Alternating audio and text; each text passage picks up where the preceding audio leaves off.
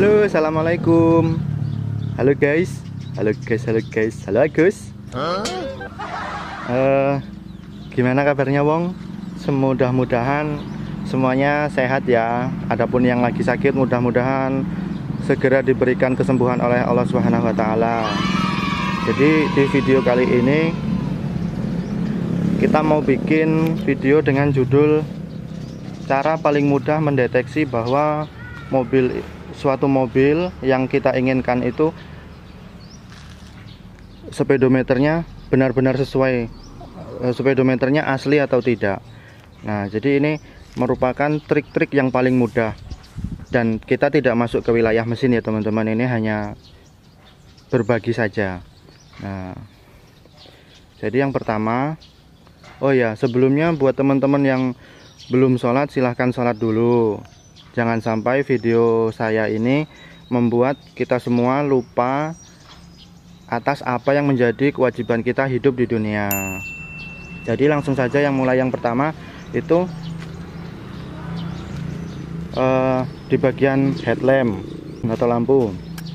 Nah di bagian lampu ini untuk mengidentifikasinya itu sebenarnya cukup mudah.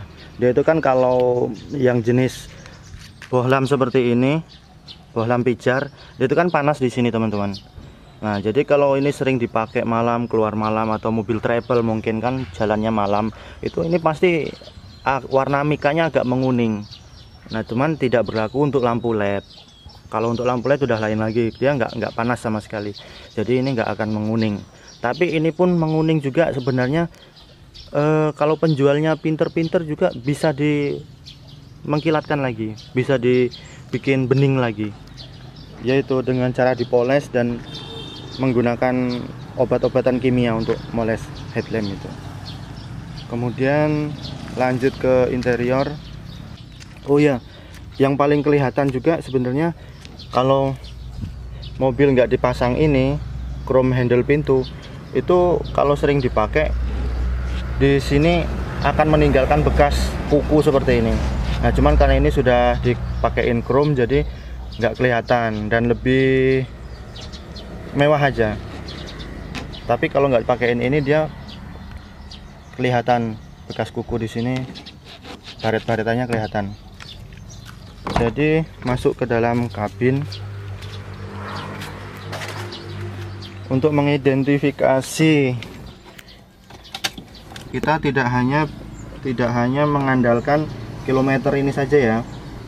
Tapi kalau misalkan kalau misalkan mobil ini tahun 2012 tapi kilometer ternyata masih 30 ribuan. Nah caranya mendeteksi itu benar 30 ribu atau enggak itu ya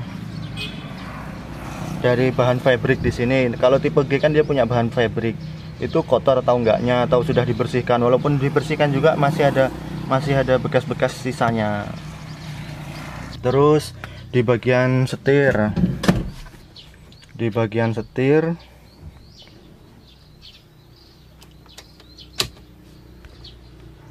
Uh, itu akan kelihatan bagian yang sering dipegang. Bagian setir kalau sering dipegang itu kan dia akan halus.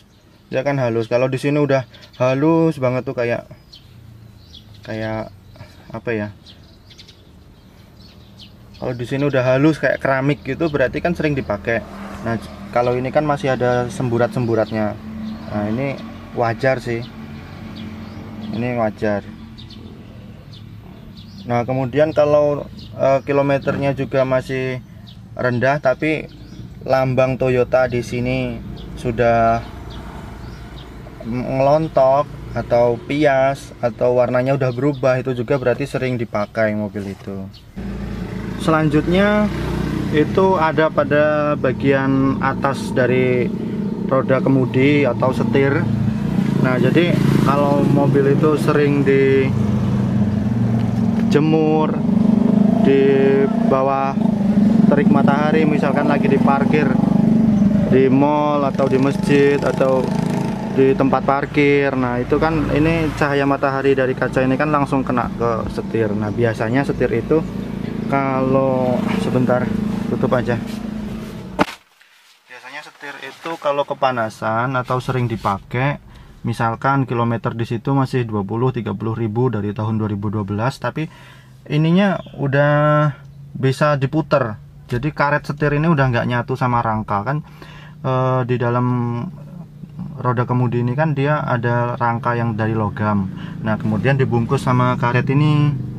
Nah kalau yang udah lama dipakai misalkan dari tahun 2012 2010 itu e, kalau sering dipakai dan dijemur di bawah sinar matahari pasti ini tuh nggak nyatu lagi. Ini diputer-puter bisa buat mainan bisa ini.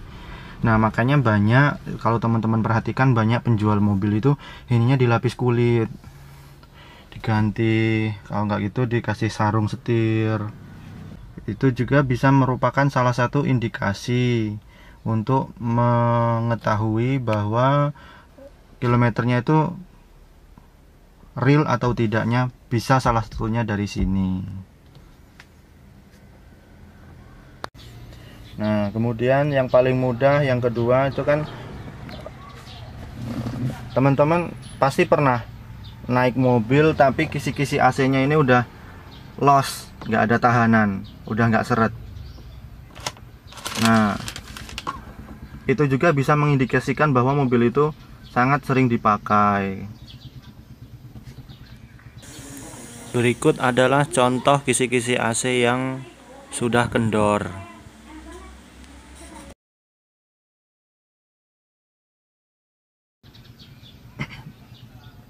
Selanjutnya dari AC. Nah, kalau yang Avanza tipe ini tahun ini kan ini banyak analognya nih. Nah, kalau yang suhu ini nggak terlalu pengaruh karena suhu ini walaupun kita mentokkan sampai ke sini, tapi kalau ini masih di nol kita nggak masukkan 1 2 3 kecepatan kipasnya kan percuma ini nggak nggak nggak ada efeknya jadi saklarnya itu di sini nah tombol AC itu kalau udah nggak ada tahanan terlalu ringan udah nggak bunyi klek klek klek gitu berarti itu indikasi bahwa mobil tersebut sering dipakai. Ya tidak mutlak ya teman-teman. Ini juga bisa mungkin juga mobilnya kilometer rendah memang asli tapi ininya sudah nggak ada tahanan. Bisa jadi kan untuk setiap hari untuk diputer-puter gini mungkin sama bocah atau gimana atau memang beli untuk diputer-puter gini ya? Intinya saya berbagi informasi ini tidak bermaksud untuk menggurui atau sok pintar ya teman-teman. Tapi hanya berniat untuk saling berbagi aja untuk sharing. Selanjutnya di bagian pelapon. Di bagian pelapon itu nggak bisa dibohongi. Kecuali udah di salon ya teman-teman. Lain lagi kalau udah di salon karena pelapon itu kalau sering dipakai dia pasti akan kotor. Terlebih yang make mobil tersebut sering membuka jendela dan kurang memperhatikan aspek kebersihan. Oke demikian saja video kita kali ini. Oh ya sekedar untuk info buat teman-teman e, Mobil saya ini sebenarnya lagi saya jual. Nah e, kemarin itu kan hmm, Saya tawarkan 125 Itu banyak inbox masuk yang melalui Facebook. Itu menawar. Cuman karena belum masuk hitungan belum saya lepaskan. Harganya saya turunkan lagi. Kemarin 125 sekarang saya turunkan lagi jadi 100 berapa ya? 119 silahkan dinego kalau misalkan hitungannya masuk ya saya lepaskan. Kalau misalkan hitungannya belum masuk ya mohon maaf belum bisa saya lepaskan.